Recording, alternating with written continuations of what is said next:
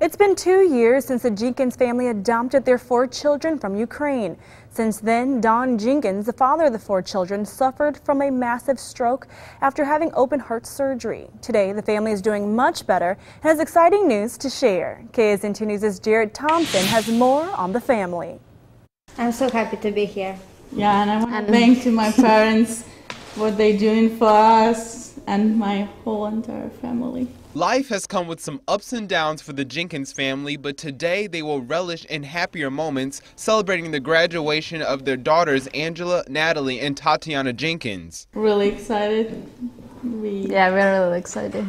The girls say the transition to America was tough, but things are getting a lot better. When we got here, we didn't know English. hard. But yeah, it was hard. But now, like, everyone is talking to us, and now we can learn, and uh, yeah, we can talk to them, and it's easier. It's much easier. And for friends, really easy. Really like, easy. Really easy.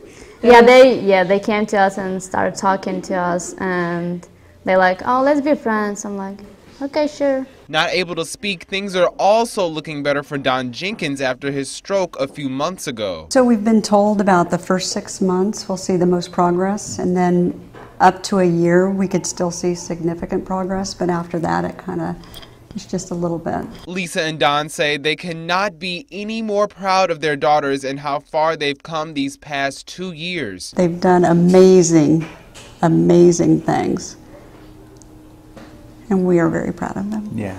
Yeah. And so now that the girls have graduated from Seaman High School, what's next? Washburn University. It's as the best family. Yeah, Yeah, Jared Thompson, KSNT News. All three girls will be attending Washburn University this fall. Two of the girls will be taking up physical therapy and the other arts.